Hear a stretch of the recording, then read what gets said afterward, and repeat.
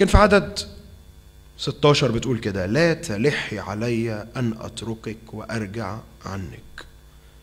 الجزء ده بيبين إنها إيه؟ بتحب. التصقت بيها لما قرينا وهنا بتقول لها أنا مش هتركك ومش هرجع عنك. لأنه حيثما ذهبت اذهب وحيثما بت أبيت. ده الجزء ده بيبين إنها مكملة معاها ملتصقة بيها لسه بتكمل محبة لكن الجزء الجاي هو ده الأهم.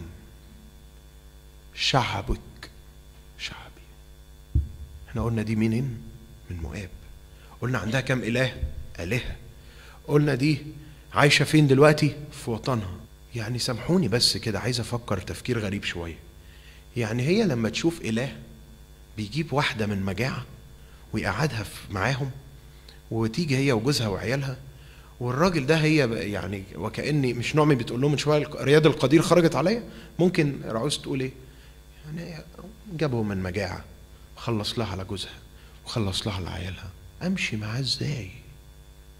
خلينا يا جماعة نفكر. اسمحوا لي أقول لكم إحنا محتاجين الأيام دي وإحنا بنقرأ الكتاب نتأمل وإحنا بنقرأ الكتاب نفكر وإحنا بنقرأ الكتاب نختبر كل نص وندرسه ونشوف الله فين في النص ده. شعبك شعبي وإلهك إلهي. ده معناه إيه؟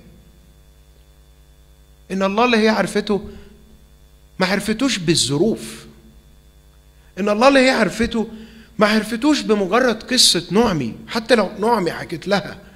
لكن الموضوع مش شعب بس الموضوع ده هي كمان سابت شعبها عشان تروح لشعب تاني وكمان سابت آلهتها عشان تروح لإله تاني واحد. أنا شايف في النص ده شايف الله بيعمل في قلب مين؟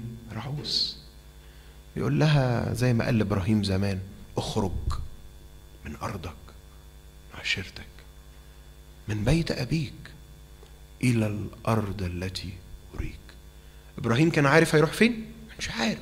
إبراهيم كان عايش في وسط استقرار كان عايش في وسط بيته كان عايش في وسط عيلته كان ممكن وعايش في وسط غناه على فكرة إبراهيم غني جدا ولما مشي مع الرب كان غني جدا.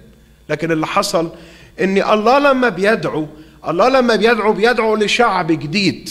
وإحنا النهارده لو مش حاسين إن إحنا شعب جديد مختلف عن هذا العالم إحنا في كارثة. إحنا في كارثة. وإحنا لو مش حاسين إن لينا إله مختلف عن أي إله في العالم إحنا في مصيبة. عشان كده ربنا بيعمل في قلب رعوس ممكن يكون بيعمل في قلوبنا النهارده. وعمل في قلبنا قبل كده إن قال لك إنك مش عايش. إنك عايز استقرارك إنك عايز سلامك. على فكرة رعوز كان أسهل حاجة بالنسبة لها إيه يا جماعة؟ بيتها؟ بلدها؟ آلهتها؟ راحتها. لكن هي راحت مع حماتها بالرغم إنها ما فيش أي التزام لا شرعي ولا قانوني ولا أخلاقي ولا ديني يخليها تلتزم بحماتها. يا على القلب اللي بيحب لما ربنا يتقابل معاه بيتغير.